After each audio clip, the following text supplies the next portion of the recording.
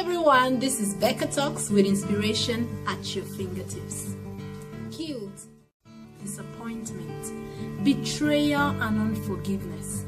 These are negative baggages that can hinder, impede, and drain the energy out of our walk through life if we hold on to them for too long. I remember while in the university, I had this bag that I put my lecture notes and my personal effects in.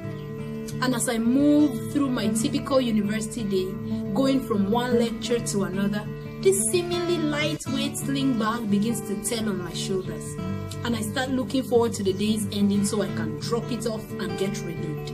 The feeling is the same when we hold on to negative baggages for too long.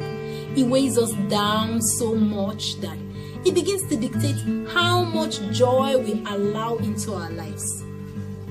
These feelings become Lord and kings over us so much that it keeps us from reaching our full potentials and it begins to deny others the benefit of all the gifts and talents that God has blessed us with.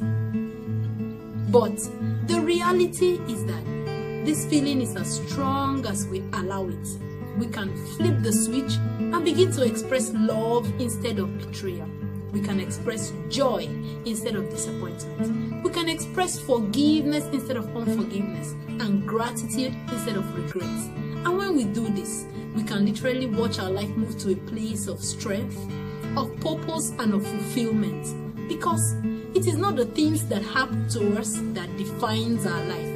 Rather, it is how we react to them. The reality of the matter always is that life happens and the people we cherish may not always live up to our expectations, leaving us feeling disappointed or betrayed. But this negative baggages is not ours to carry, as life itself is like vapor and we will not be here for too long. So remember that joy is a state of mind, love is a state of mind. So express love, express joy, live happily and enjoy every moment of your life. Until next time, do not settle for less. Go out and be your best.